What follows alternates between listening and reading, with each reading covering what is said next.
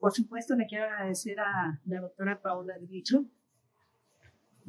que haya aceptado tan amablemente con tanto gusto asistir aquí presencialmente y también agradezco a mi instituto que nos dio la oportunidad de poder invitar y que estamos aquí reunidos el día de ahora. Muy eh, someramente decir que la doctora Paola Villa es licenciada y doctora en letras clásicas, licenciada por la Universidad Nacional de La Palma, y doctora por la Universidad del Sur. Algún dato está equivocado, y el diploma o diplomada en egiptología por la Universidad de Alcalá de Hilani de Es, eh, pertenece a CONICET, es profesora adjunta remunerada cargo de lengua y literatura libres en la Universidad Nacional de La Pampa, investigadora adjunta del Consejo Nacional de Investigaciones Científicas y Periodísticas, la investigadora permanente del Instituto Interdisciplinar de Estudios Americanos Europeos y del Instituto de Estudios Clásicos de la Facultad de Ciencias Humanas de la Universidad de Campana. Tiene un futuro muy amplio, muy interesante, un grupo, lo que a nosotros, nos, al menos a mí me llamó mucho la atención, es que se dedica al estudio de papilos egipcios en el área de, la, de derecho diagnóstico entonces son temas que aquí no hemos trabajado, por eso es muy importante su presencia en la Dice que ha integrado o dirigido, dirigido diversos proyectos de investigación en las áreas de los estudios clásicos los finónicos que se refieren a Filón de Alejandría. Ah, eh, y en temas de derecho lingüístico, de y historia de la de la Estos son actualmente dirige el proyecto de investigación en nombre de Alejandría y Galilei de interpretación antecedentes y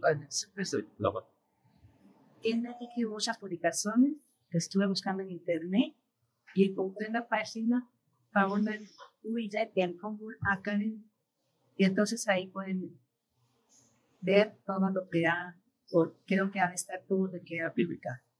Y aquí con nosotros trabajó, ya ha trabajado con UNAM, con nosotros, porque participó muy activamente en los proyectos que teníamos de Derecho y Literatura. Eh, organizamos un seminario de Derecho y Literatura, pues invitamos al doctor Emiliano Luis, que también es conocido de algunos de ustedes, y él nos hizo el favor grandísimo de presentarnos a Paola Lillos. Entonces armamos un talk súper bonito, pues, en la época precisamente de la pandemia, y entonces estaba una época muy agradable porque después de que estábamos encerrados, teníamos un espacio en, en el que hablábamos de derecho y literatura, lo que nos interesaba, y así conocemos a Paola. Entonces por eso está aquí entre nosotros. Te agradecemos mucho, Paola, y adelante, ya no te tomas el tiempo. muchísimas gracias, Marta, que vengo diciéndole a todas las personas que está siendo una anfitriona excepcional, excepcional. Muchas gracias por la recepción, sumamente amena, cálida, confortable, más para quienes venimos solos desde el exterior es fundamental. Gracias Gerardo y gracias a todos quienes y todas quienes han estado en todo el proceso de organización de, de estas charlas y del congreso, del gran congreso de la semana que viene, que es muy prometedor.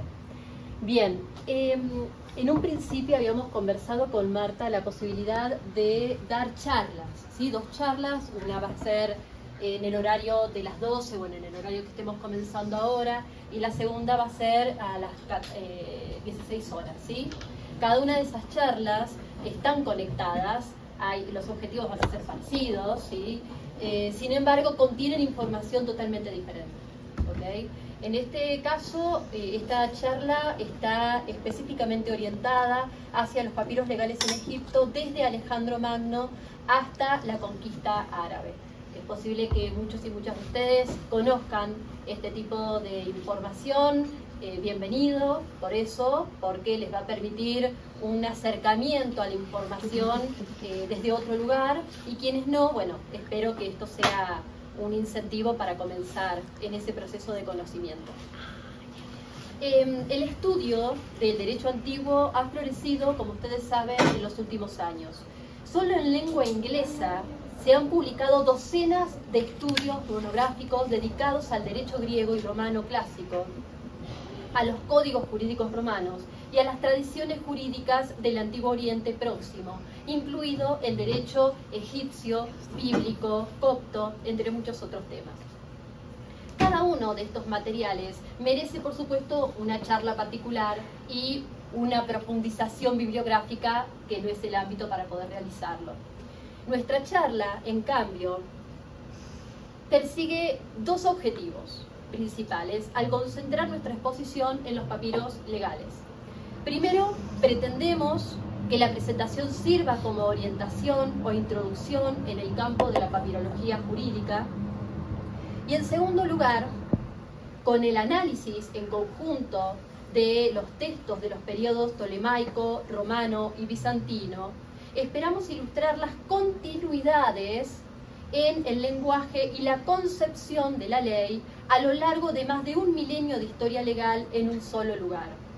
Egipto, que fue el núcleo del imperio tolemaico antes de convertirse en el año 30 a.C. en una provincia del imperio romano y más tarde en una parte del imperio bizantino hasta su conquista por los árabes en el año 642.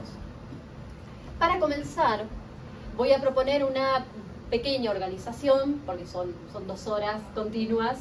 En general, mis eh, investigaciones tratan de acotarse a espacios históricos bien precisos, eh, siglo I, siglo II antes de Cristo, eh, 3 antes de Cristo, siglo I después de Cristo, pero dado el público eh, y, el contenido más amplio que me habían pedido, bueno, abarcamos un periodo temporal extenso, para una investigación extenso, pero que es posible.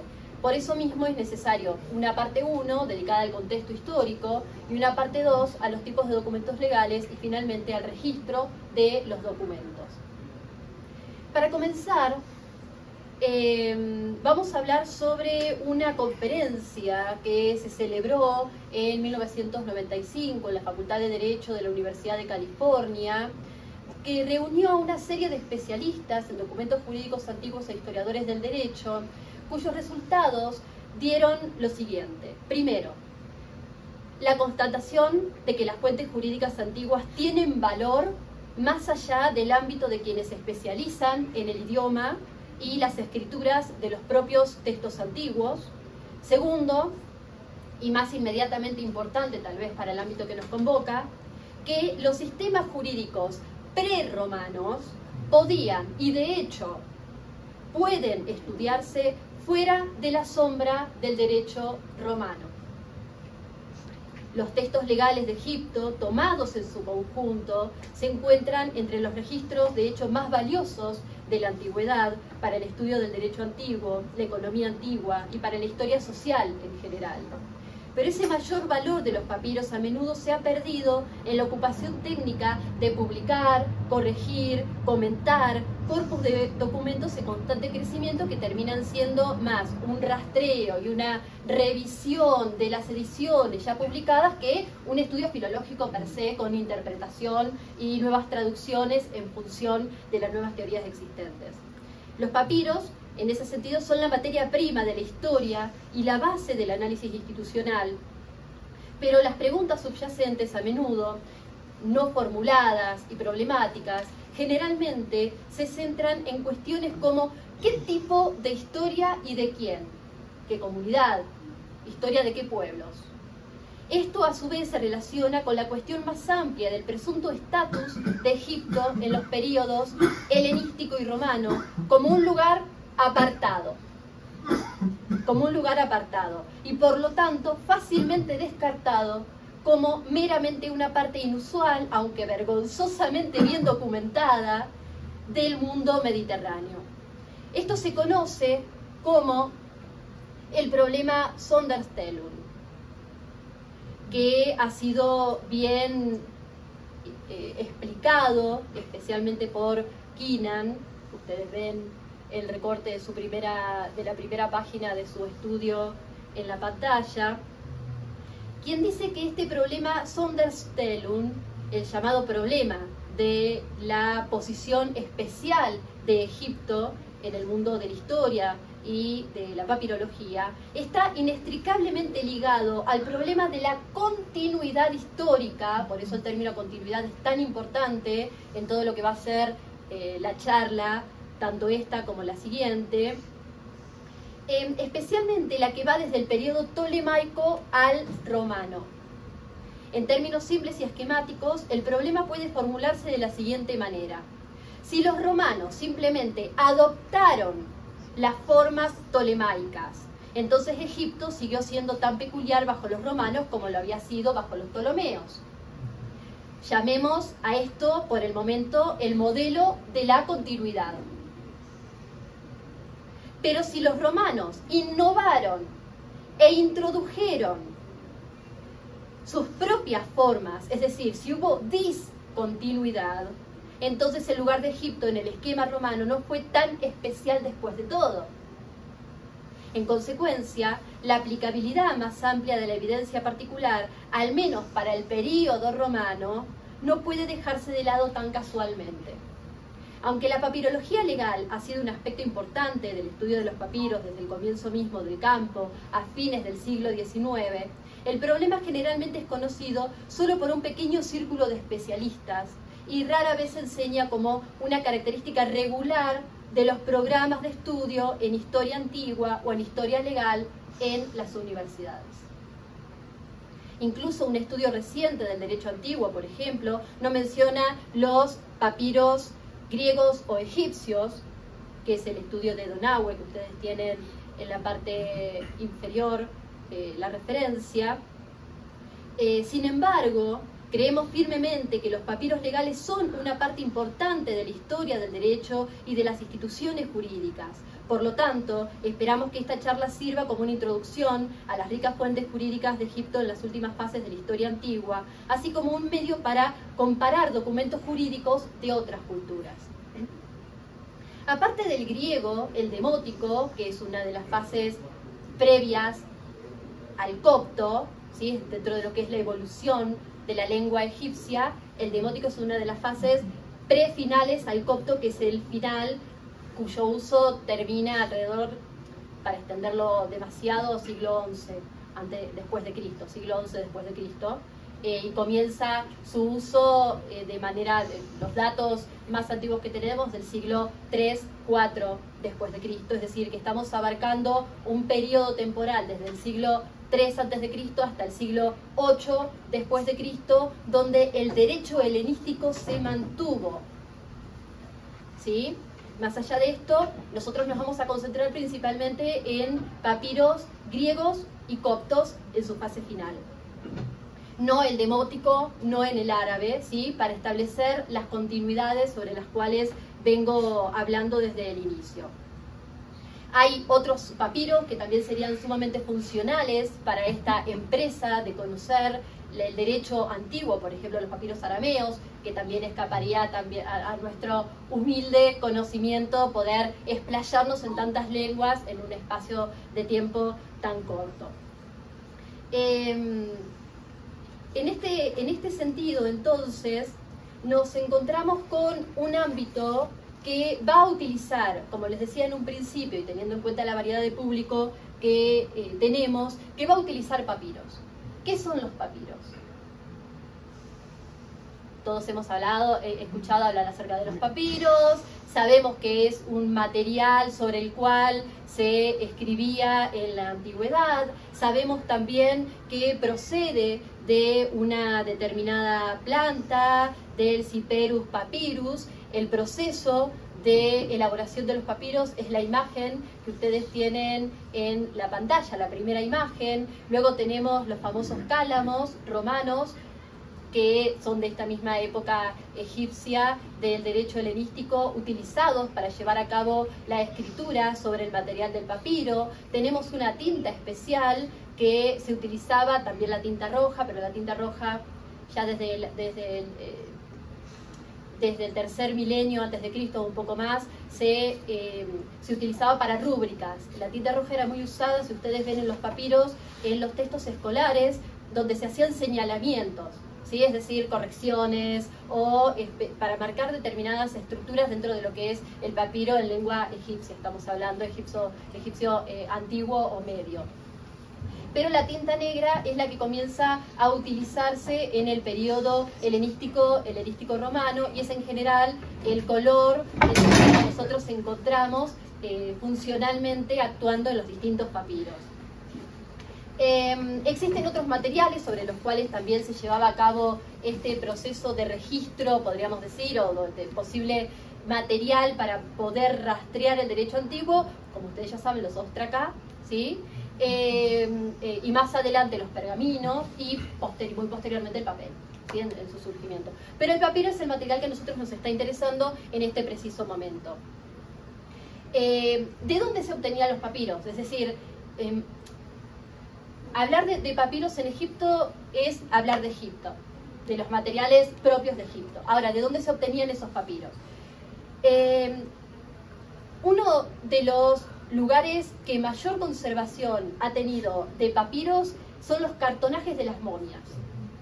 Las momias eran revestidas para su conservación por papiros. Esos papiros son reciclados, es decir, por ejemplo, una eh, cuenta, un registro de cuenta económica, de un administrativo de un determinado gobierno, se eh, sacaba de un determinado tacho y se utilizaba, se reutilizaba para revestir a la momia. Entonces, en el proceso de conservación, reestructuración de una momia, lo que se obtienen son papiros que, sacados uno por uno, nos da una enorme cantidad de información de la época.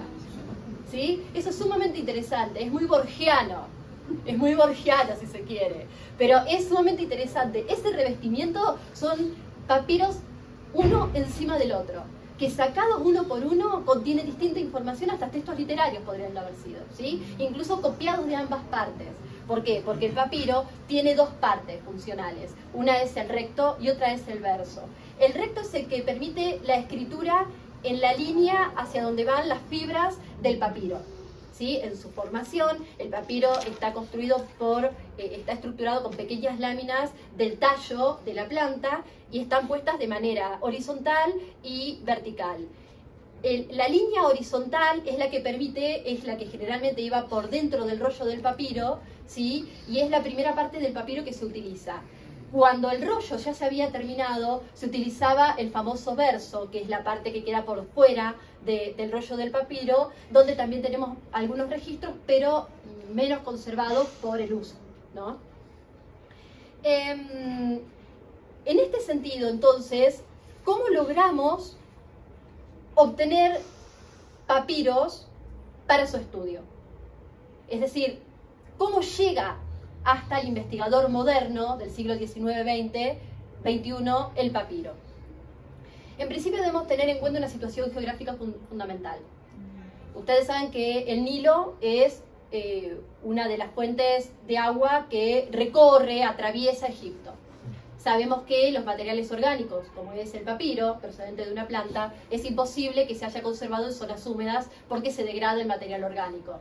Sin embargo, todo lo que vemos alrededor es amarillo, es desierto. ¿sí? En la zona del, Fa, del Fayum y toda la zona eh, amarilla que la rodea, donde tenemos desierto, es decir, una, una zona propiamente cálida y apta para la conservación de materiales, es donde tenemos enterradas la mayor cantidad de eh, papiros de, donde se han descubierto, especialmente en la zona de lo que se llama el Egipto Medio, ¿sí? lo que hoy conocemos como Egipto Medio. En ese sentido, sí, a partir de esta imagen satelital, que es bien gráfica desde el punto de vista del eh, mapa físico, si se quiere, nos encontramos con eh, este mapa elaborado por Keenan, Manning y eh, eh que nos habla justamente de las distintas, no es una, tendría que estar más ampliada la imagen para que ustedes la puedan apreciar con mayor facilidad, pero pueden observar que el Fayum, que está por encima, que es justamente la imagen que ustedes tienen en el segundo mapa, que es el recorte, ¿sí? las zonas Tebaida, el Fayum eh, y propiamente la zona del Delta es donde mayor cantidad de eh, papiros se han encontrado, especialmente en el Fayum, que ha sido rico en este sentido, por eso está marcado también como un, con un recuadro que es indicativo en este sentido de la zona geográfica que mayor cantidad de papiros ha dado hasta, hasta el momento.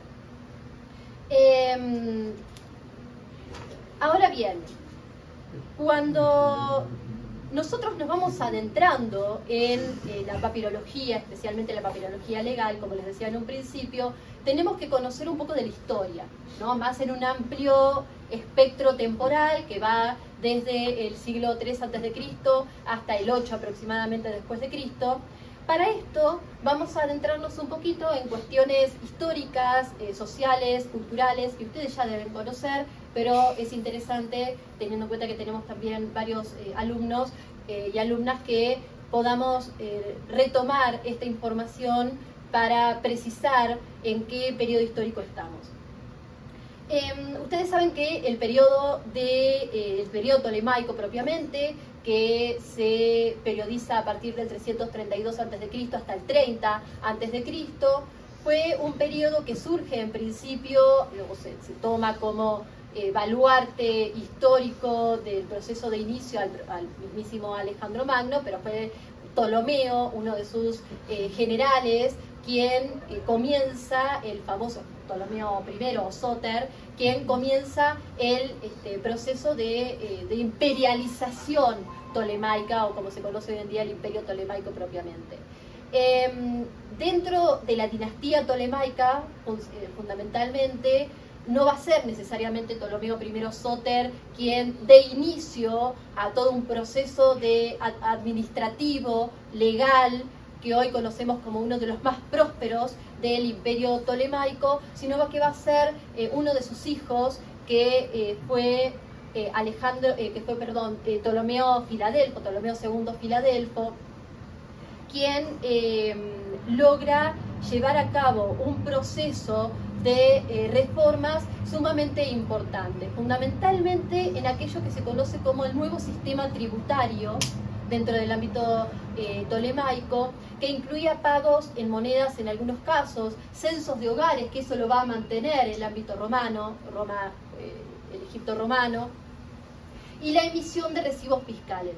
Entonces, en este primer periodo vamos a tener una gran cantidad de información legal dentro de lo que se considera el derecho anacrónicamente llamado derecho, lo, que se, considera la ley en Egipto tolemaico, vinculado fundamentalmente con estos procesos de reestructuración económico-social, fiscal, para llevar a cabo lo que se conoce como una posible centralización del poder o una supervisación eh, de las comunidades, aunque vamos a ir viendo que no fueron justamente los Ptolomeos quienes llevaron a cabo esta tarea de una manera tan ardua como eh, algunos historiadores eh, pretenden asumir.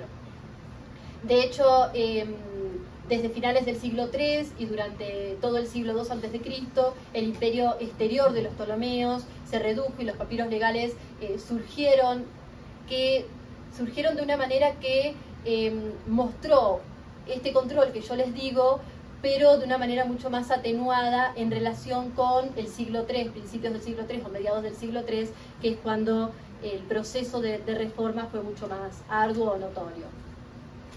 Em, de todas maneras, cuando nosotros nos encontramos con el sistema eh, administrativo de Ptolomeo II Filadelfo, nos encontramos con una novedad que es sumamente atractiva para quienes estudiamos el derecho en la época helenística, porque eh, los Ptolomeos, especialmente Ptolomeo Filadelfo, no elimina, como se iban a hacer posteriormente los romanos, no elimina el sistema legal propio de la comunidad egipcia con la cual él se encontró. Los mayores cambios ocurren en lo que llamamos nosotros las metrópolis, especialmente Alejandría, donde sí hay una, una influencia directa del derecho griego, pero no masiva. ¿Cuál fue la gran inteligencia de Filadelfo? Permitir que los egipcios nativos siguieran manteniendo su propio sistema jurídico, permitir que los griegos colonos trajeran consigo su propio sistema jurídico y permitir también que los, que, este, los macedonios propiamente, y, en ese sentido, bueno, la relación que tuvieron con los judíos, que los judíos incluso pudieran traducir su propia Torah a la Septuaginta, que nosotros conocemos como la Septuaginta, posibilitando de esta manera que la Septuaginta se convirtiera en el derecho en el cual se iba a basar el derecho o, todo lo que tuviese que ver con la legislación judía en Egipto en este momento.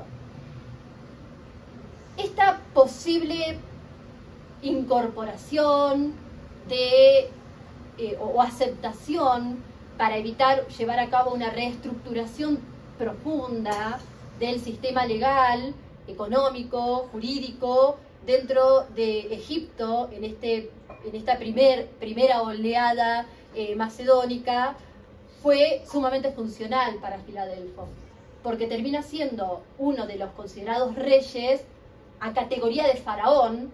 De hecho, hay imágenes en templos egipcios donde aparece Ptolomeo en vestido de vestido como si fuera un faraón antiguo al lado de las diosas o dioses egipcios, por ejemplo la Maat, que es la diosa de la justicia, ¿sí?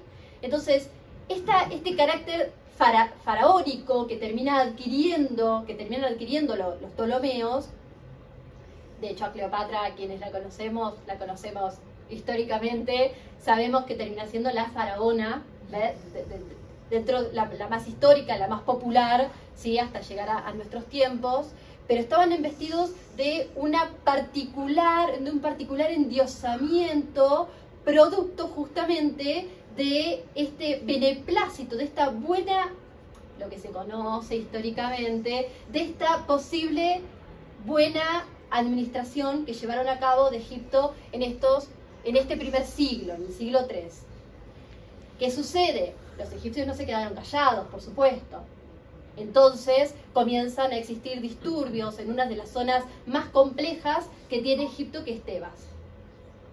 Tebas inicia una revuelta, bueno, la piedra de Rosetta es una piedra eh, de esta época justamente, del siglo II, eh, que viene a mostrar, tiene información que cuenta justamente acerca de esta famosa revuelta tebana que ocurrió entre el 206 y el, 186 a.C., que esta revuelta, es decir, una especie de, revolución de la parte media de Egipto, eliminó el control administrativo tolemaico de gran parte del sur de Egipto, que determinó al mismo tiempo la posibilidad de que los romanos comenzaran a inmiscuirse en la política eh, tolemaica, que los ptolomeos tuviesen que comenzar a realizar algunas tratativas, acuerdos, para que los romanos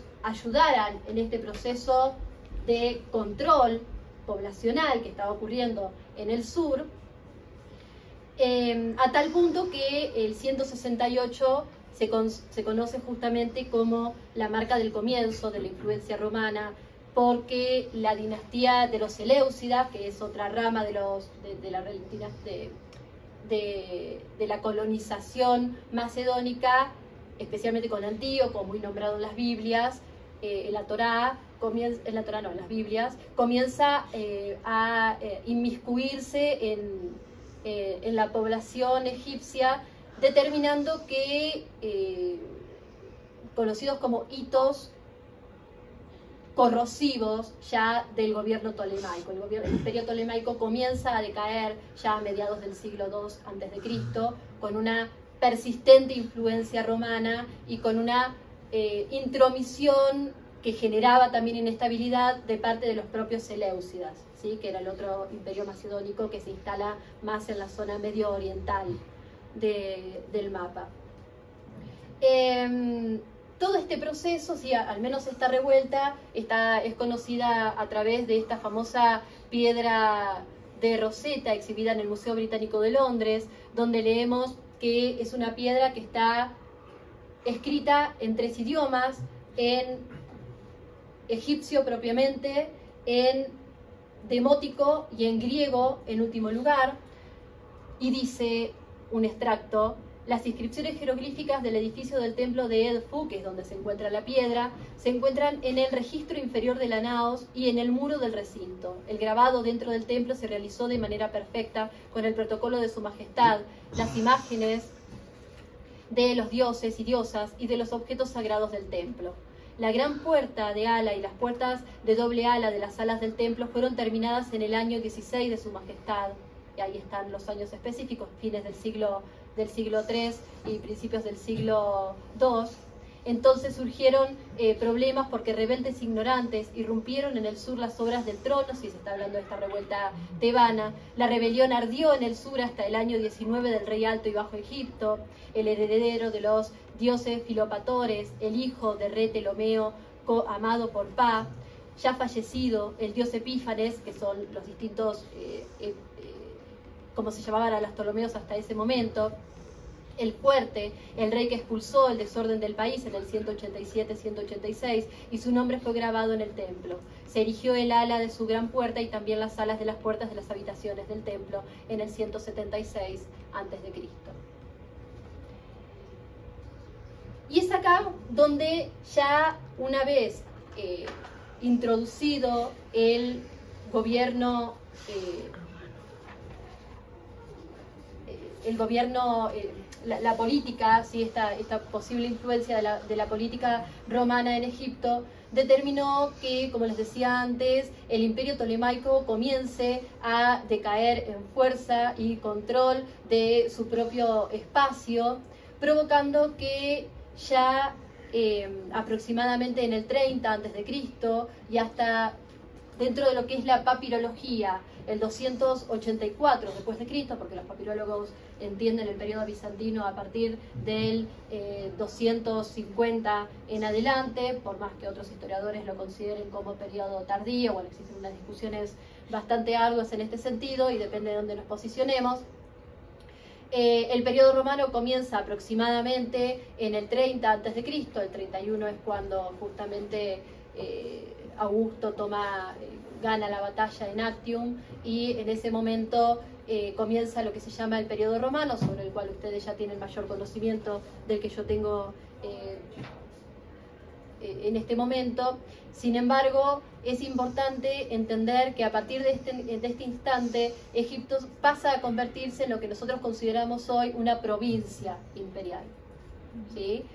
Esto esta posición especial de Egipto en el imperio romano debemos entenderlo desde, esta, desde este punto de vista, porque si bien Egipto termina siendo provincializado, los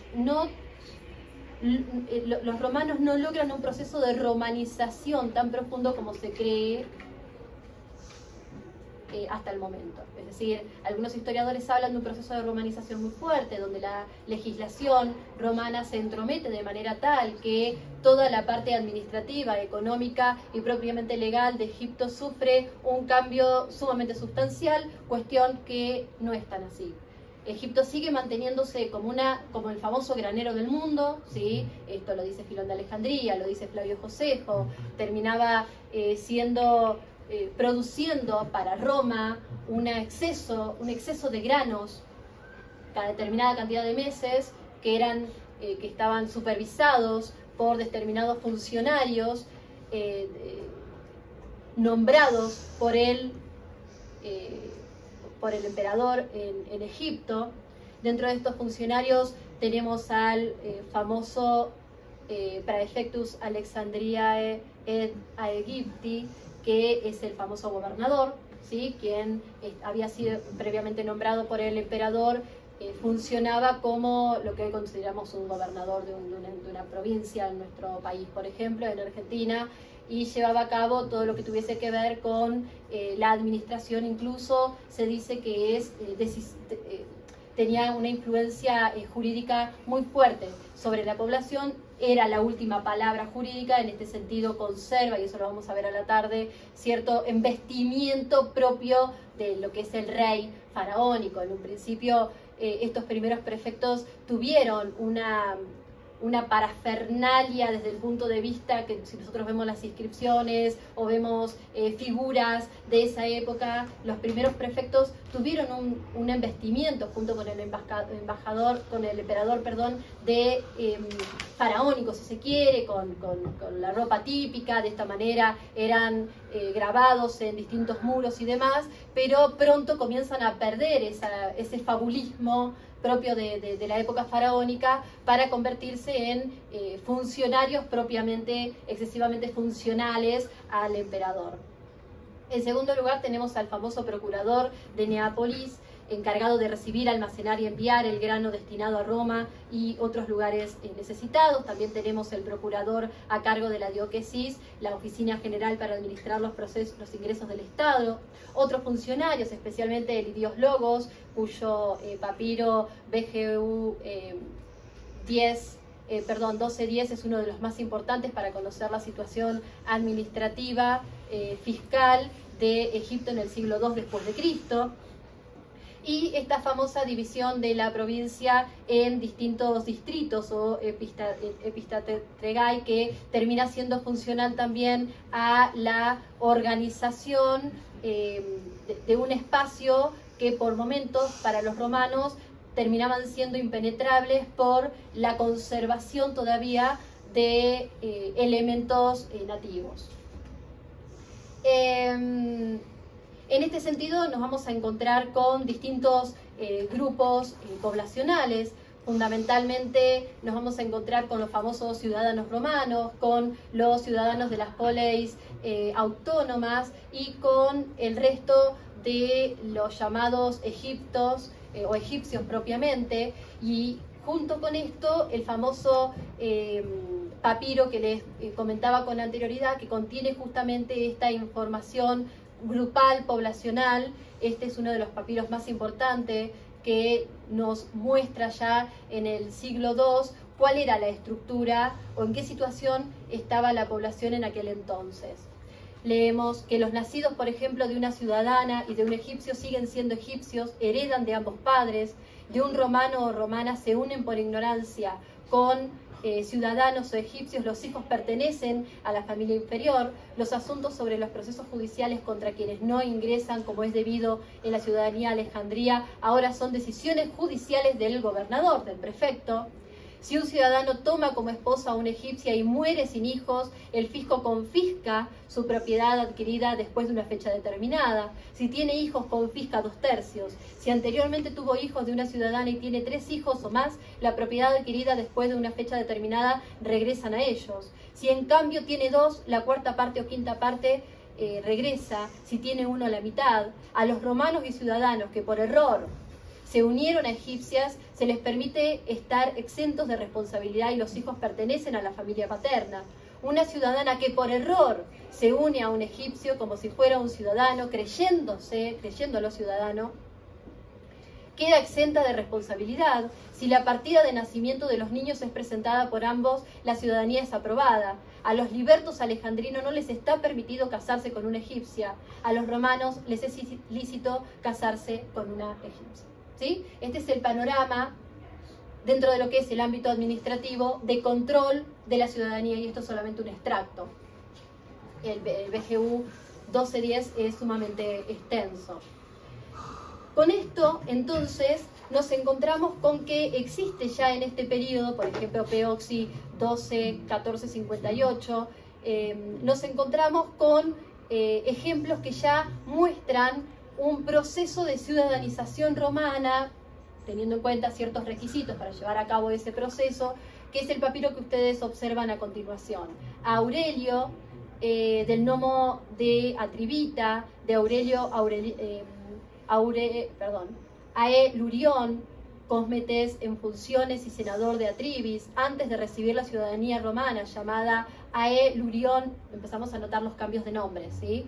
Eh, eh, antes de recibir la ciudadanía romana, llamado a él Urión, hijo de Zoilo, de la tribu neocósmica y demo de Altea. Registré en el pasado año 24 en la metrópoli 60 ovejas, bueno, toda una cuestión administrativa, económica.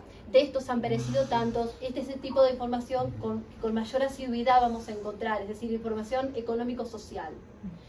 Em, pero que de alguna manera la ciudadanía romana o este papiro ya muestra cómo la ciudadanía romana se extendió gradualmente en Egipto a través de diversas concesiones individuales y grupales, cuyos beneficiarios adoptaban el nombre gentilicio y a veces el praenomen del benefactor, a menudo el propio emperador, a quien se debía o podía eh, rastrearse su ciudadanía, también eh, permitía eh, su aparición en estos papiros. Este es solamente un extracto de un papiro corto, pero que da una información sumamente sustanciosa para la época.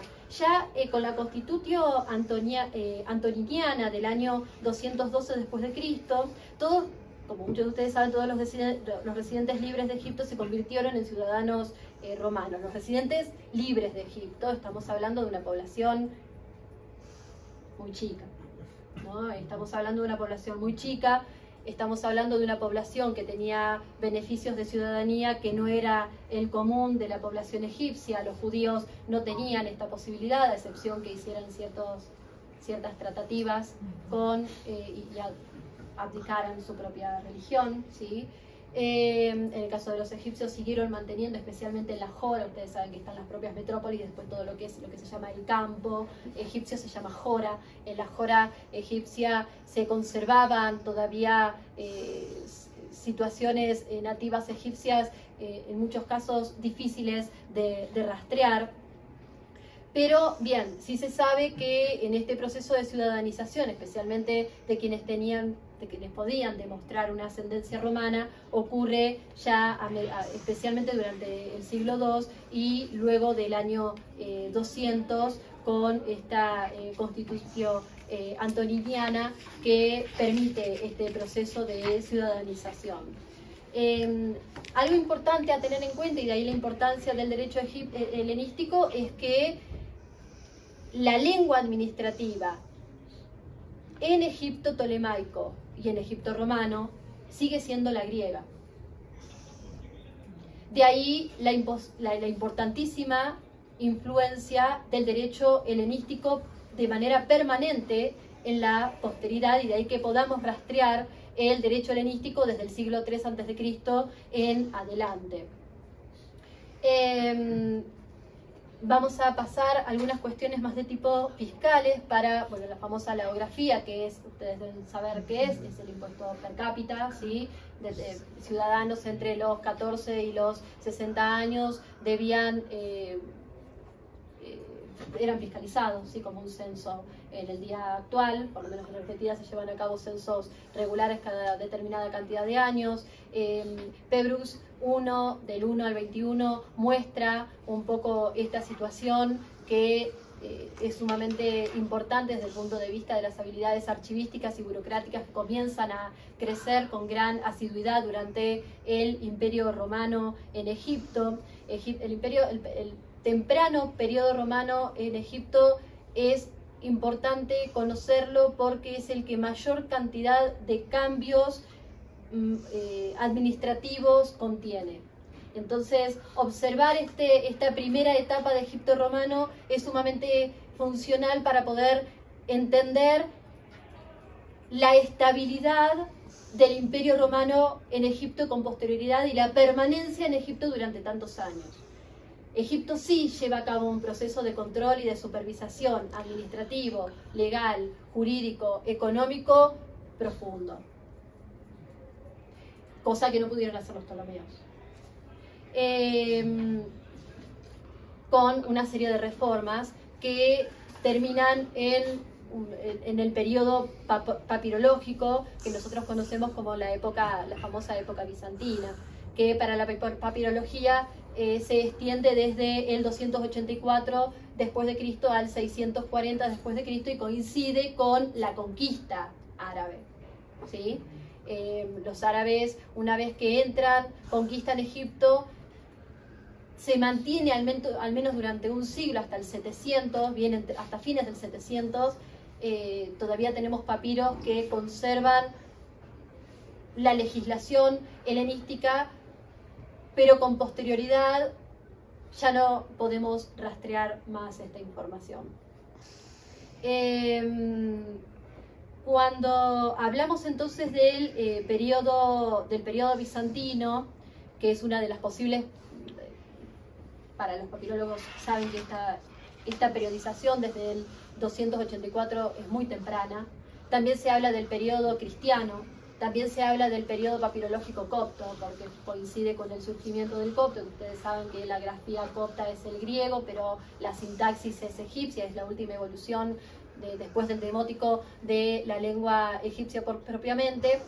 Em, se, habla de se les da de distintas denominaciones para poder entender desde el punto de vista, si se quiere, eh, desde el punto de vista eh, político, de la historia política, se lo considera como bizantino, desde el punto de vista de la papirología, como cristiano o copto. ¿sí?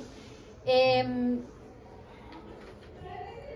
pero en este, en este periodo nos encontramos con que Egipto sigue siendo sumamente funcional al imperio, incluso al imperio oriental, porque ya los granos de Egipto no son llevados a Roma, sino que ahora el imperio oriental es el que gana preponderancia por sobre el imperio occidental, determinando que los granos que antes a través de Alejandría se llevaban a Roma, ahora se lleven a Constantinopla, digamos, cambia la sede, cambia el, centro de poder, pero la dominación sigue siendo eh, propiamente romana.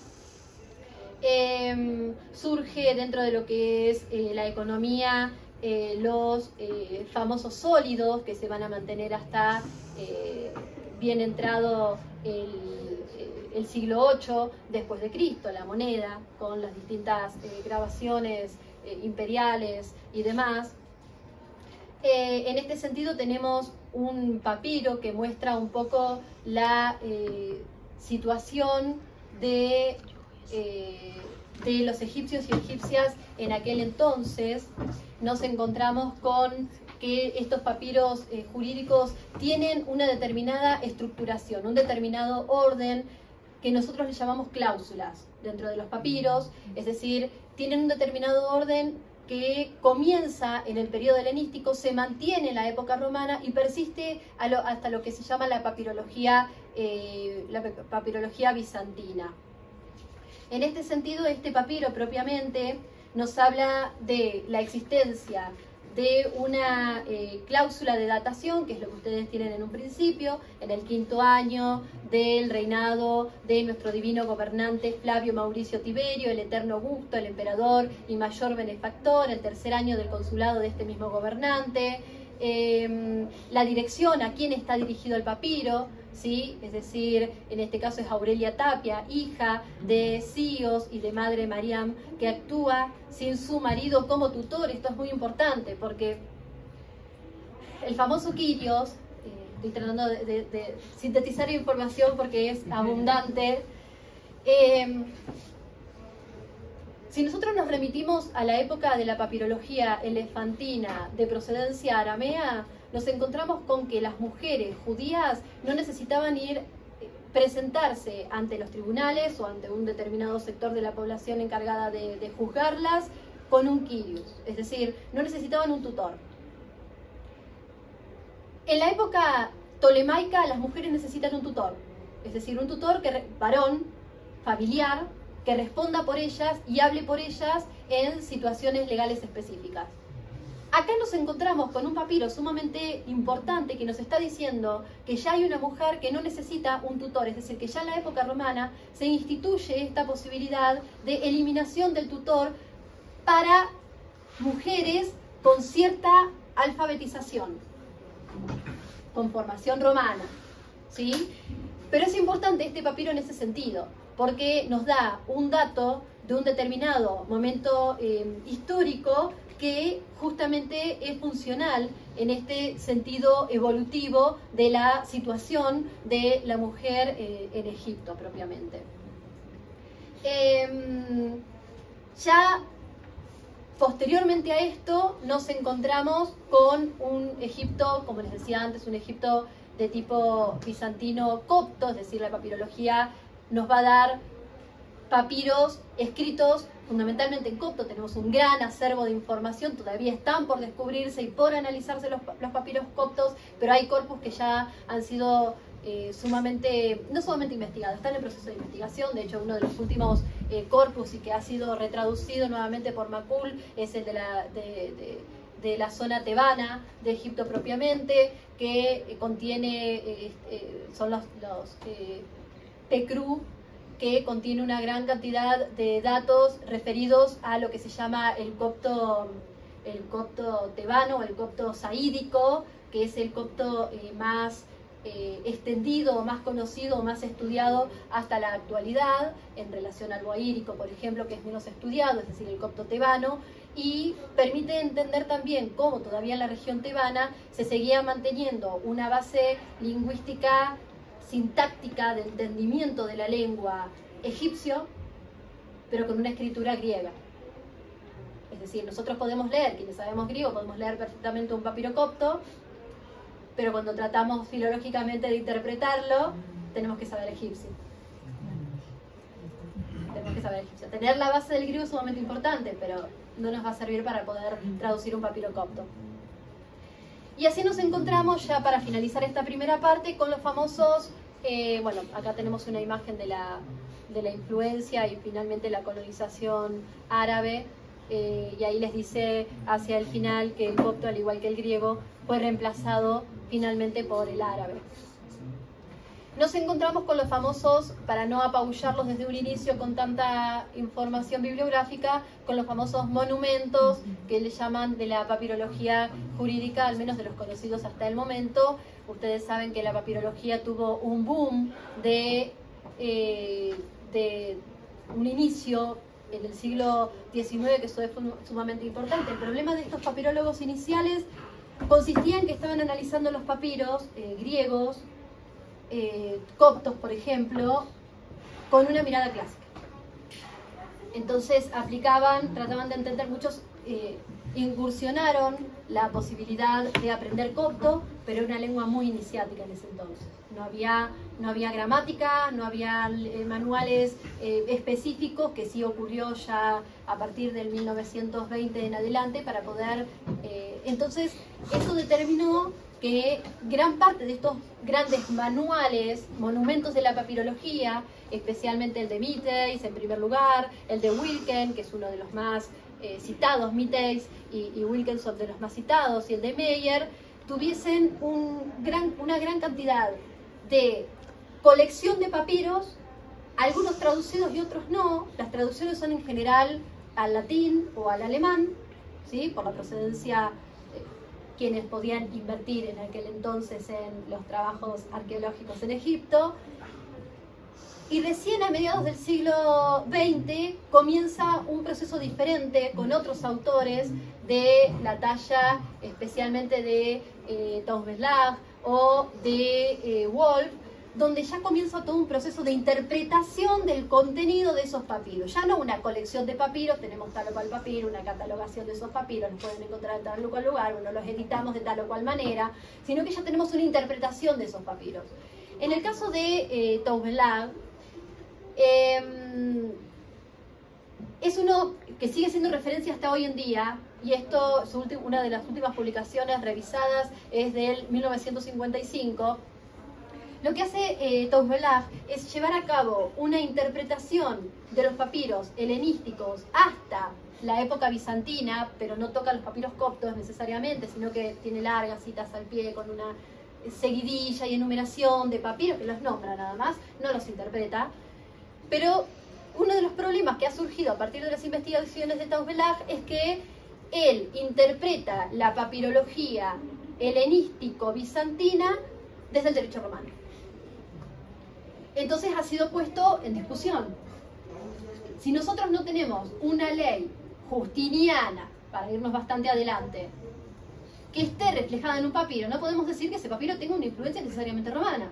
Entonces, esto es lo que permite la filología. Quienes hacen filología, quienes hacemos filología, nos damos cuenta que lo que no está nombrado no existe.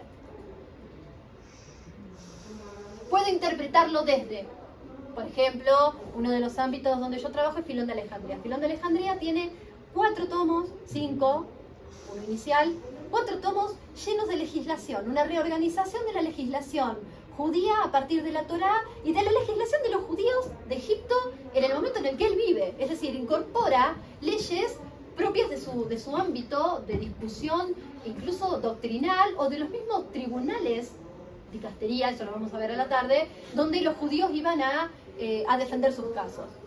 Cuando leemos la Torá, mucha de la legislación nombrada por Filón de Alejandría, uno de los principales judíos del siglo I después de Cristo, no está.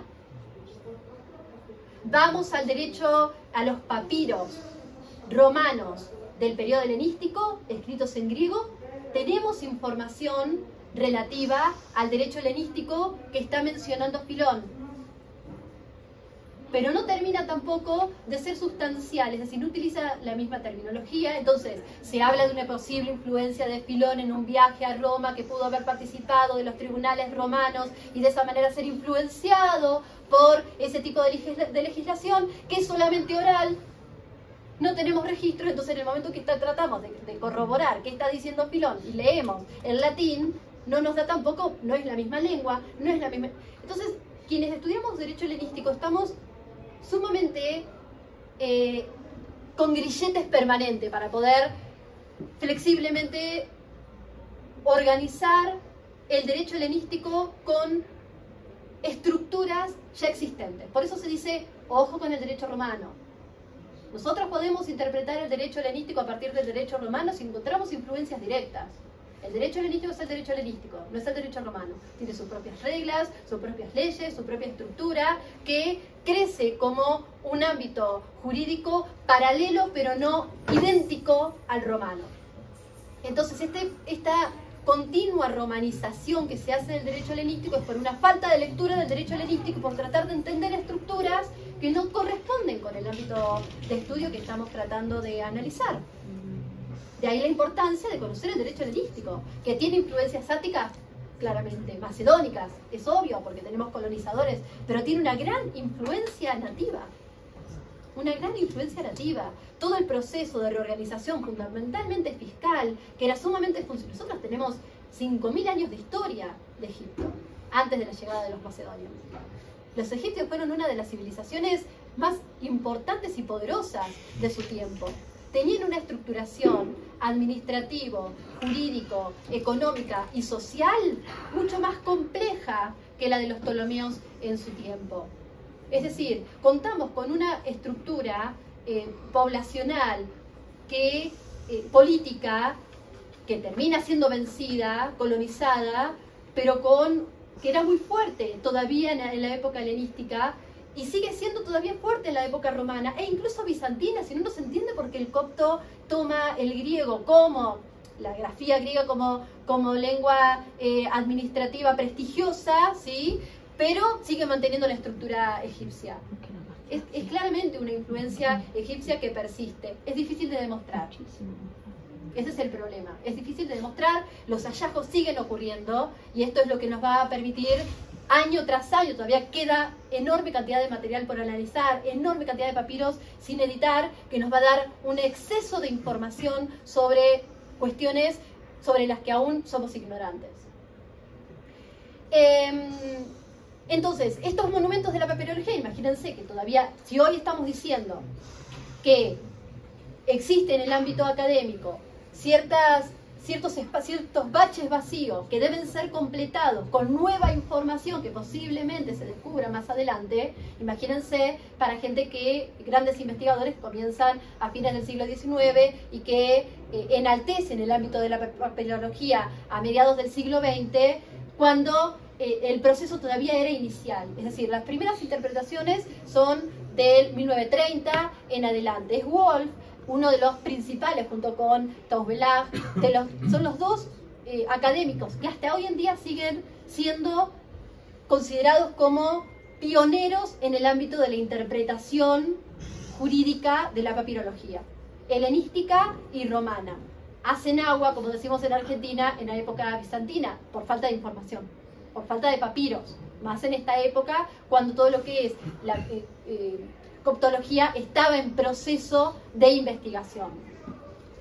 Em, más allá de esto y de estos eh, grandes monumentos, em, nosotros nos encontramos, y ya con esto comenzamos con la segunda parte de, la charla, que mm, vamos a tratar de adentrarnos eh, brevemente, ¿sí? por el tiempo con el cual contamos, en aquello que se considera como la práctica jurídica helenística en los papiros griegos, especialmente en su forma, contenido y administración de los documentos legales, fundamentalmente tratando de observar esta, esta línea de continuidad sobre la cual yo les hablaba en un principio. Es decir, cómo un mismo papiro jurídico con un determinado formato implementado para llevar a cabo determinadas transacciones, acuerdos, contratos, se sigue utilizando en el siglo VIII. Un mismo una misma estructura. Cambian sus formas, la, la cláusula de datación en vez de estar arriba va a estar abajo, eh, aparecen los famosos autógrafos, pero se sigue manteniendo el mismo modelo jurídico durante un milenio prácticamente. Em, por ejemplo, acá ustedes pueden leer, en griego, en la compraventa y en otros tipos contractuales, la llamada homología objetiva, es decir, una declaración en tercera persona, NN, es decir, el vendedor, reconoce que ha vendido a NN, es decir, el comprador, fue al principio la forma predominante.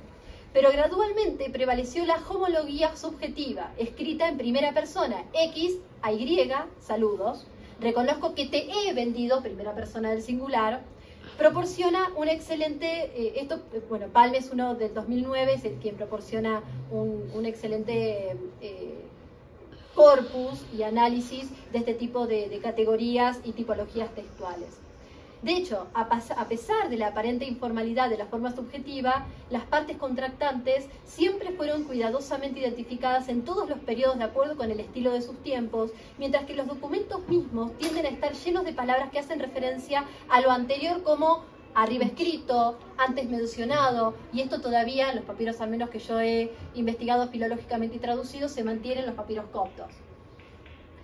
Em, en este proceso nosotros nos vamos a encontrar, y que tal vez es una figura que quienes vienen del derecho, quienes conocen eh, sobre Grecia clásica, deben haber sentido los famosos eh, agoránomos. Estos agoránomos que en su momento tenían eh, a cargo lo que puede llegar a ser Grecia, por ejemplo, eh, y también esto sucede, sigue sucediendo en el temprano Egipto eh, tolemaico, una cuestión de supervisación, si se quiere, eh, económica de la Jora, también comienzan a obtener funciones de escribanos públicos. El problema también está en esto, en que los únicos datos que tenemos acerca de estos eh, famosos escribanos o agoránomos que llevaban a cabo este proceso de notarización, es decir, en qué momento el, derecho helenístico logra comenzar un proceso de registro y de archivo de lo que se iba escribiendo. Esto tiene que ver con la evolución burocrática de Egipto, que los romanos la consiguen de una manera excelente. Los Ptolomeos aún no, pero sí tenemos algunos archivos, especialmente privados, donde eh, ciertos, eh, ciertas personalidades de la población, especialmente de la metrópolis, lograban tener a cargo sus propios agoránomos, quienes escribían a veces por ellos y archivaban sus documentaciones, contratos, contratos, testamentos y demás en sus archivos privados. Driton es uno de ellos, un caballero de la época tolemaica cuyo, que tiene una serie especialmente de testamentos que, eh, que, fueron conservados en un archivo y luego recuperados a partir de allí y conocidos por esa causa.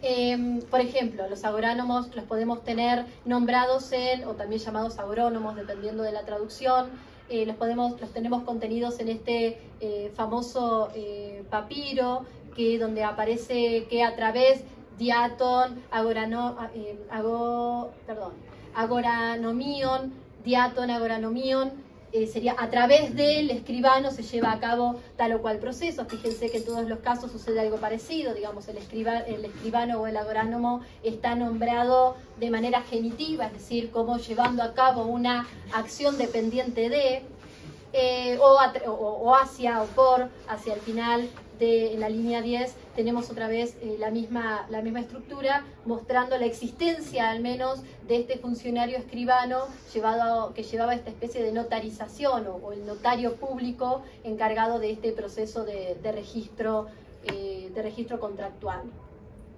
Entre los documentos fundamentalmente que vamos a encontrar en el periodo helenístico tenemos este famoso documento doble, que el documento doble es el, eh, es el documento jurídico griego más antiguo atestiguado en Egipto. En su forma más antigua, de hecho, eh, documento doble en griego, escrito en griego en Egipto, consistía en dos textos idénticos del contrato, ¿sí? es lo que vamos a ver con posterioridad en dos textos idénticos del contrato, escritos uno sobre el otro a través de las fibras de la misma hoja de papiro. El texto superior era sellado por seis testigos, algo que se conserva, vuelvo a insistir con esto para hablar de la continuidad todavía en la época eh, bizantina. Esos seis testigos asistían al acto, así como por las propias partes del contrato.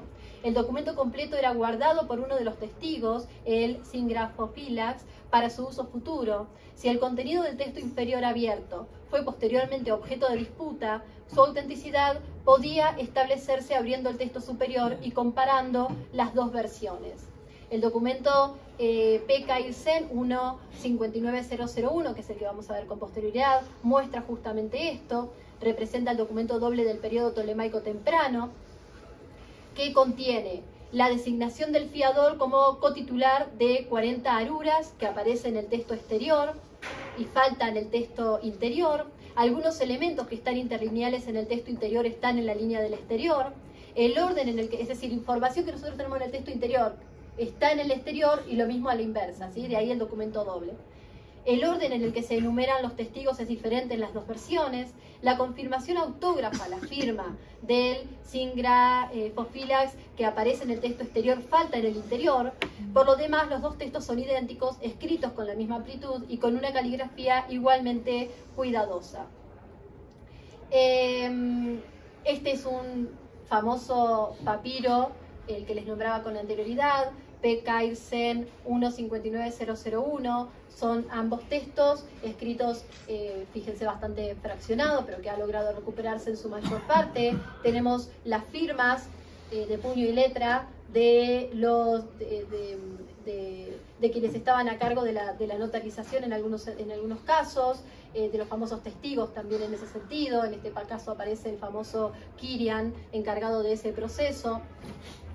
Entonces encontramos que dice en el texto interior, ¿sí? de los que tenemos acá, el que ustedes tienen a la derecha y a la izquierda, en el texto interior dice, primero tenemos el cuerpo del documento, en el año 12, acá tenemos la cláusula, la famosa cláusula de, la, de datación en primer lugar, en el año 12 del reinado de Ptolomeo, hijo de Ptolomeo, en el sacerdocio, eh, tal, en el mes, tal, en Pitos, en el Nomo de Menfita, Dionisio, hijo de Apolonio, Gastatí, al servicio de Dinón, ha prestado a Isidoro, tracio de las tropas de Licofron, tenedor de 40 aruras, 34 dracmas de plata, siendo este el precio del grano real con intereses a razón de dos dracmas mensuales por cada mina.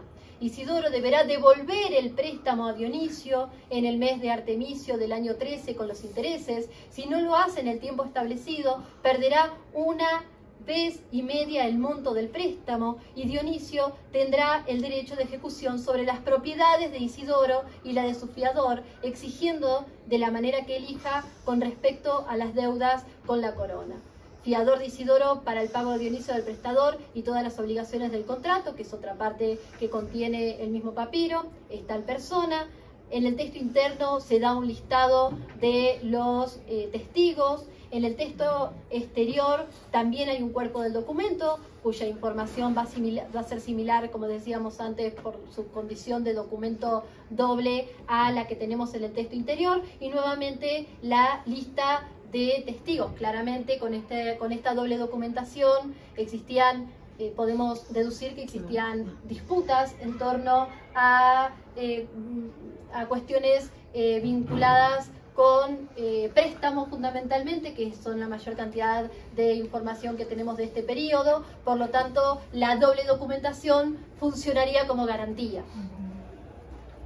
en este texto tenemos cómo se deberían haber llevado a cabo. Es una legislación de, eh, de hecho es un, como les dice acá, es un extracto que procede de un conjunto sistemático de normas para la redacción de contratos de préstamos, Em, que da eh, órdenes similares sobre litigios y que también propone eh, normas específicas sobre su redacción. Dice, en el contrato se describirán los prestatarios y los que tomen prestado. Los que ocupen cargos de fuerzas militares deberán indicar su lugar de origen, a qué unidad pertenecen y qué grado ocupan. Toda esta información es sumamente importante cuando nosotros leemos un papiro, porque nos ordena la información en filología es sumamente importante contar con modelos previos para saber dónde está ubicada cada una de están ubicados estos datos. Los ciudadanos deberán indicar el nombre de sus padres y su demo. Si también están en el servicio militar, también deberán indicar su unidad y grado. Las demás personas deberán indicar el nombre de sus padres, su lugar de origen y a qué categoría pertenecen. Em, en el documento doble posterior ya encontramos, nos encontramos con procesos evolutivas, procesos evolutivos del desarrollo del documento doble propiamente. Eh, 14 es uno de los que nos muestra este proceso. Eh, de hecho, eh, responde en cierto sentido a reformas que comenzaron a surgir en el ámbito administrativo tolemaico eh, a mediados ya de, y fines del siglo II a.C., provocando que los cambios que se iniciaron en este periodo repercutieran sobre la organización de la información en estos famosos documentos dobles que nos da datos sobre la, constitución poblacional propiamente, porque las características que debían ser implementadas no, son sumamente funcionales al ámbito de la sociología, por ejemplo. En esta reforma del 125, del año 125, implementada durante la última etapa del, imperio tolemaico, el documento doble pasó a estar sujeto a la famosa anagrafía, es decir, al registro de su contenido en una oficina eh, estatal llamada Grafeion, que se mantuvo esta oficina estatal eh, también durante el siglo I después de Cristo y con posterioridad. En esa ocasión la escritura interna dejó de abarcar todo el texto del contrato, como veíamos en el papiro anterior, y solo informaba de los detalles de la transacción que se registraban en los archivos del, del Grafeion. La reforma afectó también a otras secciones del documento. Los documentos dobles tolemaicos tardíos contienen, además de la sucinta escritura interna, la confirmación autógrafa del deudor, del grafé, de los términos de la transacción, así como el reconocimiento autógrafo del singrafo filás de la recepción de la escritura. Los documentos dobles tolemaicos tardíos también contenían una descripción de la propia anagrafía. En el caso de P-14, que registra un préstamo de 20 artabas de trigo por Dioniso, hijo de Asclepíades, a Dioniso, hijo de Céfalas, presenta los rasgos del documento doble posterior al 125 y es el que ustedes tienen acá con una imagen bastante clara en relación con los papiros anteriores. Esta cuestión me preguntaban antes de entrar a dar esta charla eh, si nosotros teníamos acceso, quienes hacemos filología, a los papiros en sí mismos. Eh, claramente sería costosísimo viajar, viajar eh, cada tanto para un papiro a Europa para poder llevar a cabo un proceso paleográfico propio. Entonces, hoy en día las bases de datos, especialmente papiri.com o Trismegisto, son, son plataformas papirológicas de las más importantes. Un artículo publicado este año justamente eh, eh, eh, dentro de lo que son, es un libro sobre, publicado por la Facultad de Económicas y Derechos de La Pampa, que contiene un, un, un, capítulo escrito por mí donde hablo de la papirología digital y de la importancia de la papirología digital y todos los sitios que hoy en día tenemos para poder acceder a los papiros sin necesidad de estar eh, gastando esta imagen. Si nosotros la agrandamos, tenemos la información que necesitamos desde el punto de vista paleográfico. ¿sí? Hoy en día la digitalización de los papiros llevados a cabo con una excelente fotografía y de buena calidad nos, nos evita eh, gastos accesorios, especialmente quienes vivimos eh, en América.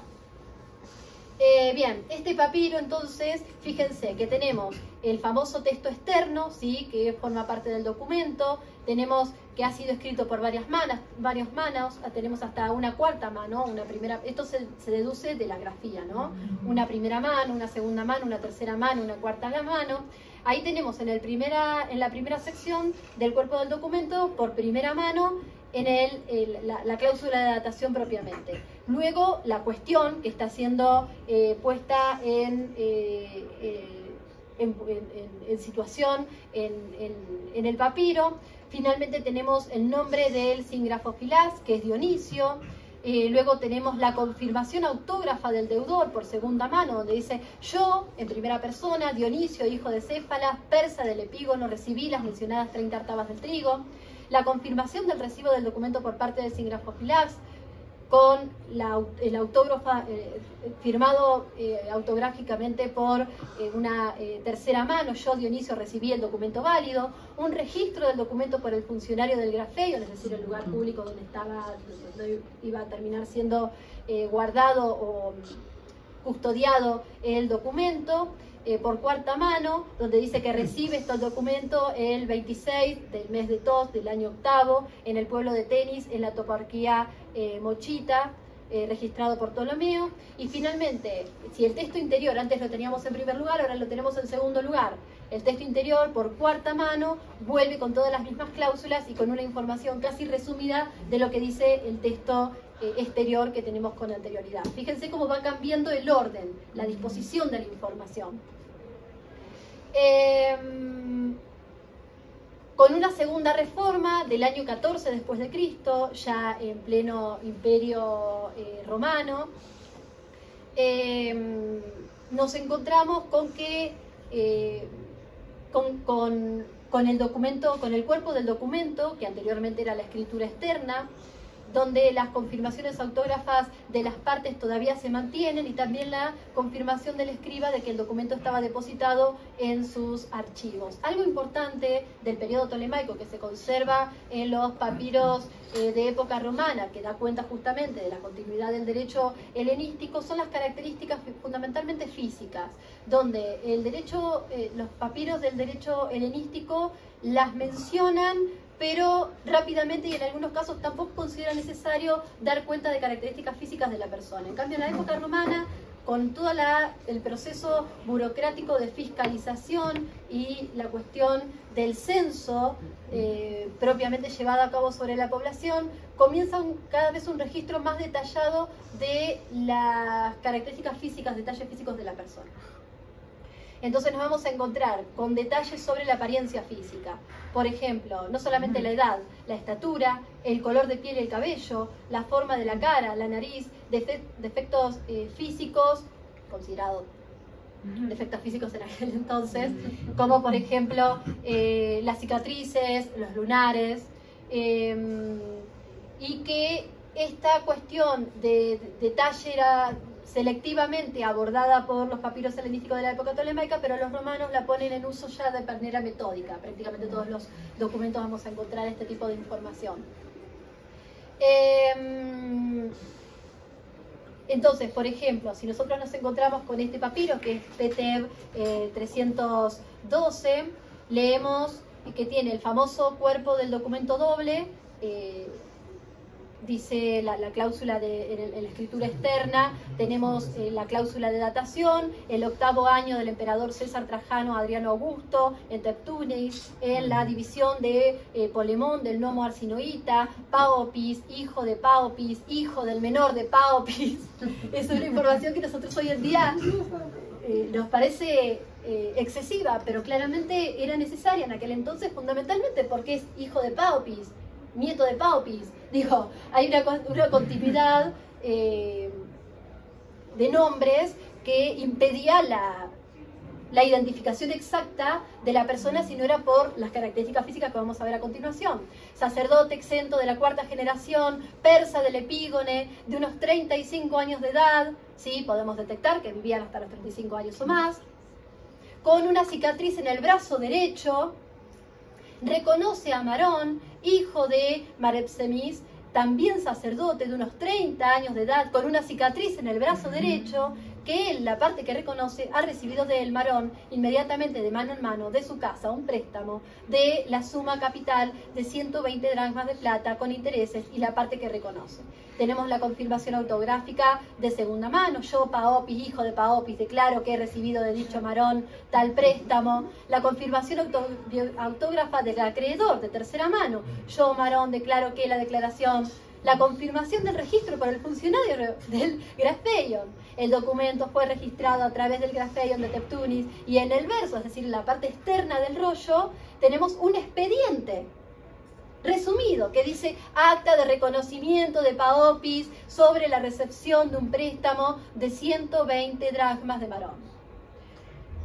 El entendimiento de estos papiros y llevar a cabo la traducción es complejísimo porque tenemos una serie de datos repetidos que en el momento de la traducción terminan siendo confusos. Porque un paupis que nosotros tenemos al inicio, después lo tenemos en el medio, con distinta denominación, y uno es hijo, el otro es padre, el otro es abuelo, em, tampoco nos ayudan las identificaciones, las caracterizaciones de detalle físico, porque son idénticas. Entonces, bien. Em, ahora, de ese famoso documento doble que era depositado en el famoso grafeion, tenemos el famoso heirografón. El heirografón, que sí, podría ser llamado heiros, porque heiros es mano, ¿sí? era en primera persona. Entonces, es decir, eso ya habilitaba, era como una carta, podemos llamar hoy en día, eh, que la misma carta escrita por una persona eh, funcionaba como contrato yo escribo esto, me, dieron tal, tal cantidad, lo devolveré en tal término, si tal persona no acepta devolver este dinero en el término estipulado, bueno, serán embargadas sus pertenencias, eh, las cláusulas de datación se mantienen, etcétera, etcétera. Tenemos, por ejemplo, elementos que son más informales. Por ejemplo, eh, el documento se, introduce con, eh, mediante la cláusula de dirección de tal persona a tal persona, como si fuese una carta. Saludos. Al final del documento encontramos la fórmula de despedida. Adiós. La fórmula de datación está abreviada, solamente contiene el año y número de día, sin los nombres de los gobernantes. Entonces acá les dice que en el siglo II a.C. se aplica el formato anterior para la creación de un nuevo tipo de instrumento que es el geirografo, no simplemente heir, es decir, mano. El documento era originalmente autógrafo, escrito por el futuro deudor en persona. Como en el siglo III el documento comenzaba con la fórmula A a B saludos, a esto le seguía un reconocimiento de la realización del acto que creaba el contrato. El escriba introducía nuevos elementos legales, como la cláusula de ejecución, praxis, y la cláusula de validez, kiria. A diferencia del documento doble, el geirografón se escribía a lo largo de las fibras en un formato relativamente estrecho y en columnas, eh, y contenía solo un texto del contrato y no se redactaba ante testigos, que eso es lo que cambia en relación con el documento doble, ustedes recuerden que necesitábamos hasta seis o más testigos. Eh, y no se depositaba en un archivo, es decir, en un eh, eh este es un famoso eh, que dice em, que está bastante clara la grafía. Esto indica que la persona estaba alfabetizada o que fue escrito por alguien que era un notario, porque eh, está, eh, excepto en la parte inicial, que es la parte que sería la cláusula de dirección, todo el resto está interlineado de una manera pareja eh, y está escrito con una grafía muy fácilmente entendible, pero claramente manuscrita, ¿no? Dice Atenadoros, Atenodoros a Eucles y Agatocles, saludo. He recibido de Heráclides, el agricultor, el pago por el aparejo de juncos por la cantidad tal. Em, Dice más adelante, este es el resto del dinero que me pagaron por cortar los puntales de la vida en el año 38. En el verso dice, devolveré además al mismo tiempo también cuatro drasmas, dos óbolos pagados el 23 de Faofi por los 65.000, etc. Ahí tenemos la cláusula de datación que antes teníamos en el inicio, ahora tenemos al final, sin datos de gobernantes. Em, ya en la época em, romana nos encontramos otra vez con el famoso los geirógrafas.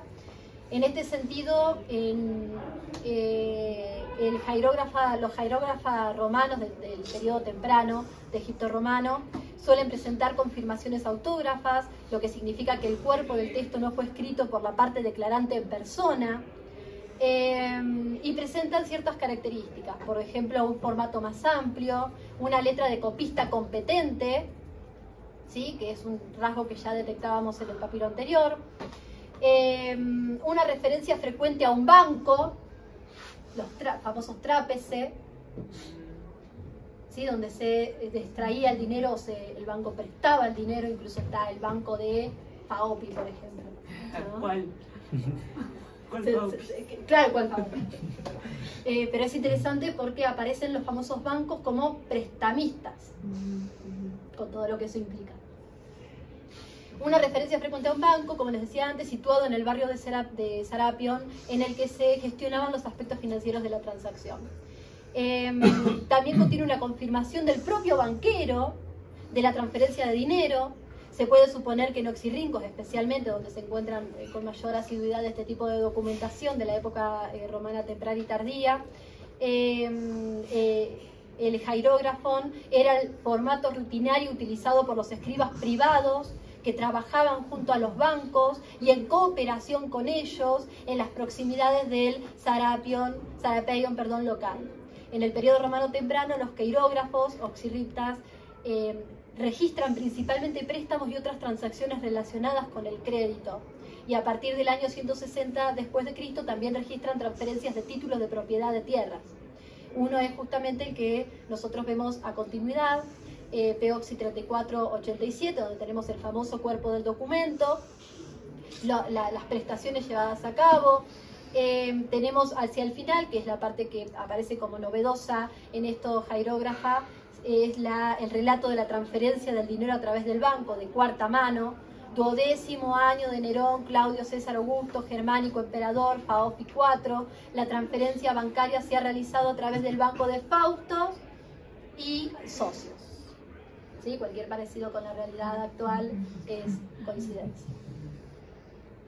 En el periodo bizantino seguimos con los mismos jairógrafos se mantienen después dentro de lo que se considera el periodo eh, bizantino en papirología a partir del eh, siglo, mediados del siglo III en adelante, em, donde, como principios del siglo IV, como les dice acá, eh, a principios del siglo IV la cláusula de datación se insertó al principio del contrato, vuelve a subirse, se vuelven a los modelos antiguos, el escriba comúnmente llamado simbolaiógrafos en el Egipto bizantino agregó su confirmación autógrafa al final del documento. Los testigos aparecen por primera vez a principios del siglo V y se vuelven habituales en el siglo VI. En el mismo periodo el documento se abre con el número 643, el isopsefismo de Teos Boethos, Dios el auxiliador. Ya esto es una... ¿De qué, qué significa esto?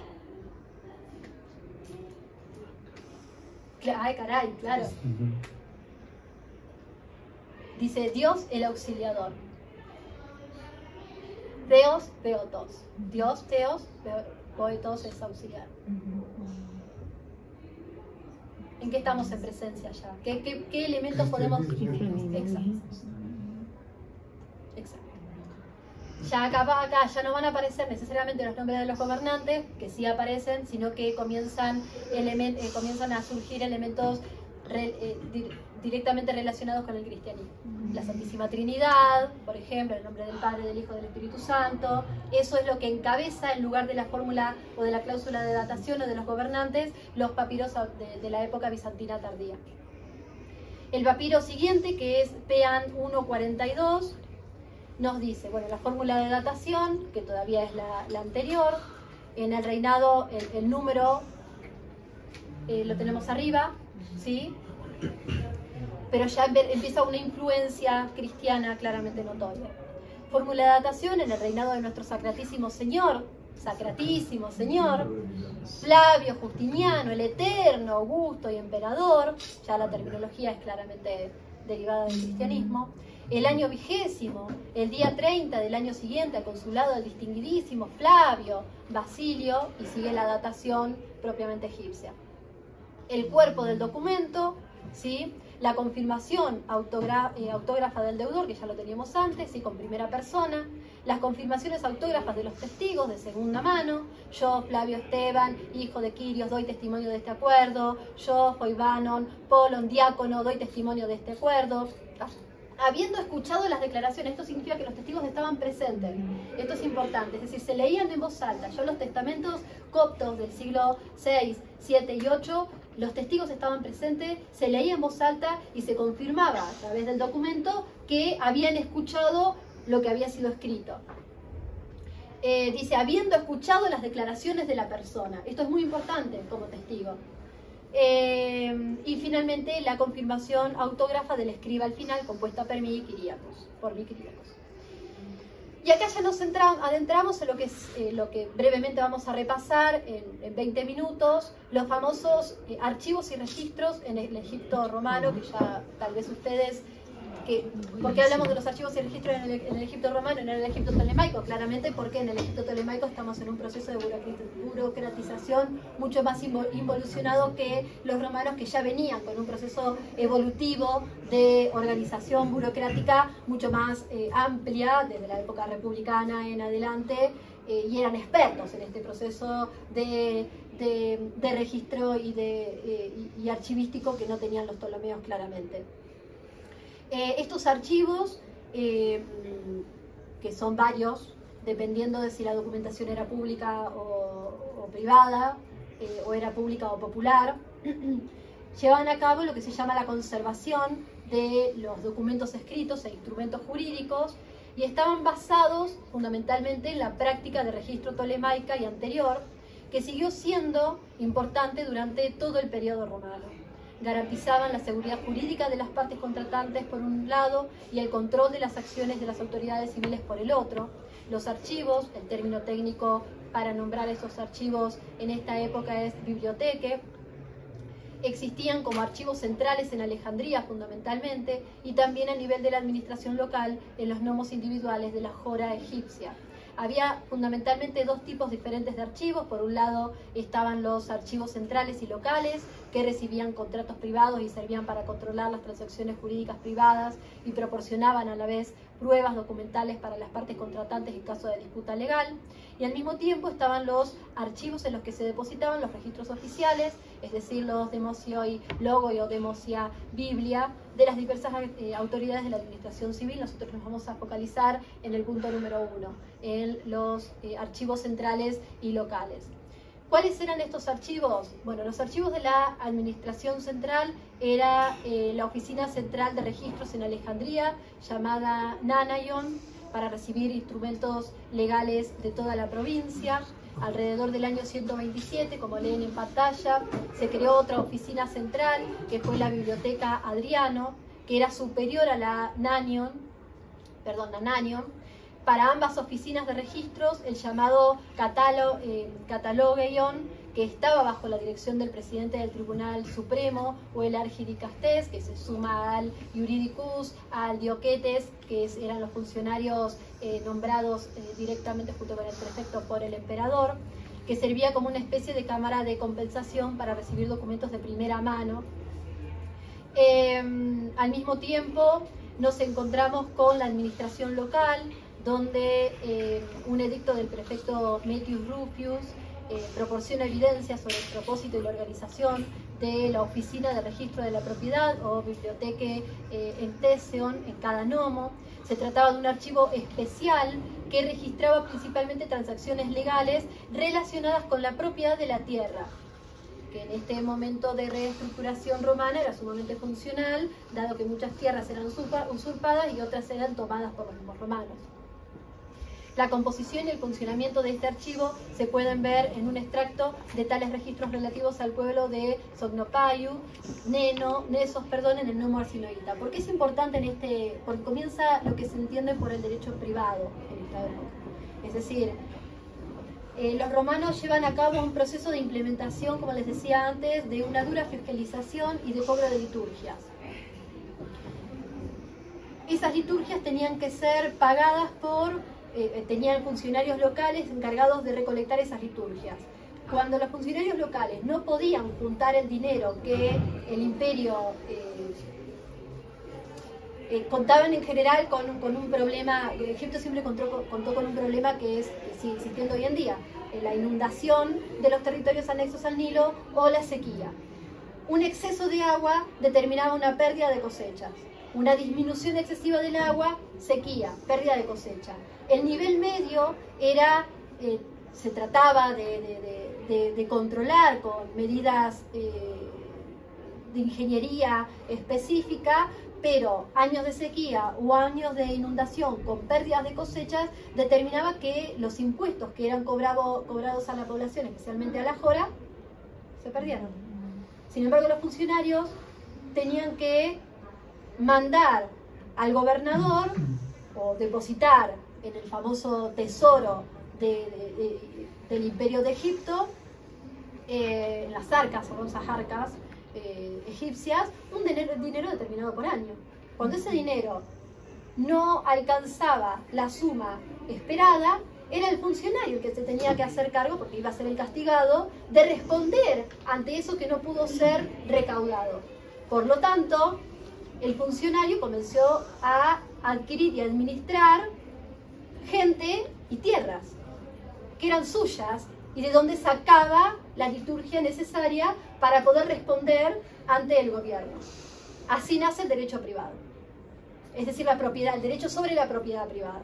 ¿sí? Es decir, el no funcionario que tenía que hacerse cargo de una determinada eh, de un determinado territorio con gente a cargo que pudiese solventar estos costos exigentes de parte del imperio. De hecho, hay una famosa de Dion Casio que dice eh, a principios del siglo, del siglo I después de Cristo, que dice, bueno, yo quiero que mis ovejas sean, sean esquiladas y no rapadas. Es decir, está bien que exprimamos al pueblo con los impuestos que el imperio nos exige, pero no, no nos matemos de hambre. Esto determinó en el siglo I y II después de Cristo una gran deserción de parte de la población. Las personas pobres que igualmente eran entraban dentro de, la laografía, es decir, estaban en condiciones de ser fiscalizadas, censadas per cápita, no podían pagar lo que el funcionario imperial les exigía, dejaban a su familia, huían a otros pueblos sin paradero conocido. Los familiares eran quienes terminaban siendo ajusticiados. Eh, hay bueno, Filón lo, relata muy bien, eran eh, llevados encadenados hacia el centro de los lugares de los gnomos, eh, desnudos, a veces se les colgaba y se les iba, se les colgaba como canastas del cuello, donde se les iba depositando día tras día arena para que eso les pese y murieran de inanición. Eh, aparte de no, de no ser castigos físicos de, todo tipo. Y toda esta, todo este proceso fiscal excesivo determinó que grandes territorios egipcios quedaron desérticos de población, quedaron abandonados. Eh, eso forma parte de lo que se puede recolectar en los papiros que puedan haber sido almacenados en, la famosa biblioteca Ectesio. Sí. Sí, por supuesto. Ya eh, tenemos acá dos, em, dos edictos más del prefecto Flavius em, Titianus de, que es el Peoxi 134, bueno, verso, el lado donde ha sido escrito, donde también aparece más información relacionada con estos, con estos archivos, donde aparecen justamente en la, columna 1, línea 7 a 17, los registros efectivos, los archivos que eran parte de la administración burocrática de, Roma egipcia, del Imperio Romano de Egipto en este entonces. Tenemos otro edicto del prefecto Marco Mecchio Rufo em, del año 89 que nos habla específicamente del eh, registro de, archivo, de los archivos locales, la famosa biblioteca Ecteseum. Em, acá tenemos una hoja de resúmenes de, recolectada o que ha sido archivada, que es el BGU 3984, donde simplemente se ponen los datos de las personas que, han, eh, de la oficina del registro de propiedad. Dice extracto de la hoja de resumen tal, de tal lugar, la niña eh, Gerieus, hija de eh, Totote, Toto Etis, hijo de Toto Etis, y de la madre Tafiomis, una menor que actúa a través de su tutor. Fíjense, este dato es sumamente importante, no tenemos tiempo de poder explayarnos en esto. Eh, el famoso geógrafo sobre el cual hablamos con anterioridad, esta evolución que notamos ya al principio eh, de la época eh, bizantina, donde surgen datos referidos al proceso de cristianización de la jora egipcia, como encontramos en estos papiros o estos famosos geógrafos de esta época, con la fórmula de invocación en el nombre de Dios, del Padre, del Espíritu Santo. Eh, la fórmula de dirección, la cláusula quiría que da validez al, contrato, eh, etc. Acá tenemos una, especificación de, los esquemas coptos, eh, que en esta oportunidad no he traído, pero sí en la charla siguiente vamos a trabajar más con, con papiros del ámbito copto junto con los griegos. Este es justamente uno, el PCRU 6 que también vamos a revisar con posterioridad, donde les he marcado con distintos colores las distintas cláusulas y qué abarca cada una. Em, arriba, por ejemplo, que es lo que nos interesa como evolución, la fórmula de invocación y fecha de emisión, que está en griego, que dice en el nombre de la Santa eh, de la Santa y Vivificante, consubstancial Trinidad del Padre y del Hijo y del Espíritu Santo, eh, escrito en el mes Mesore etcétera, el destinatario con las firmas autobiográficas en primera persona y la nota de finalización del escriba, escrito por mí, eh, Suay, hijo del difunto Filopateos. Em, bien, ya pasamos esta parte, ya nos encontramos con la bibliografía. Eh, nos encontramos que entonces con ya después del siglo VIII el número de documentos coptos se redujo drásticamente, como les decía en un principio, para comenzar a decaer drásticamente en el siglo XI después de Cristo. Y lo que es aún más notorio, sus esquemas sufrieron una sorprendente transformación, que serían los esquemas que, sobre los cuales hablábamos con anterioridad. El dominio anterior de los patrones griegos se desvaneció, mientras que los patrones árabes comenzaron a influir en la terminología y las fórmulas de los documentos legales coptos tardíos, lo que apunta a contactos comerciales y legales privados entre cristianos y musulmanes, y esos son los papiros que dan cuenta de este proceso de transformación. Entonces estamos hablando que la antigüedad del instrumento jurídico copto fue de aproximadamente 500 años, con la continuidad del derecho helenístico durante todo este proceso, y desde finales del siglo VI hasta finales del siglo XI eh, todavía tenemos vestigios de este instrumento jurídico copto en eh, la papirología que se ha seguido encontrando en esta, y, datada en esta época. Bibliografía inicial, porque es eh, bastante abundante para un periodo tan largo eh, traerles eh, en pantalla una bibliografía exhaustiva. Eh, Alonso Bagnal es uno de los pioneros en el arte de la papirología y quien más cantidad de manuales sobre papirología ha escrito, en general editándolos o en colaboración. después tenemos a Cocle, que es, uno de los más importantes textos que, que he leído hasta ahora sobre los archivos del Estado greco-romano en Egipto, Kinan, Manin y eh, que es uno de los eh, manuales que hoy en día es de referencia y uno de los más actualizados en ley y práctica legal en, Egipto, desde Alejandro hasta la conquista árabe.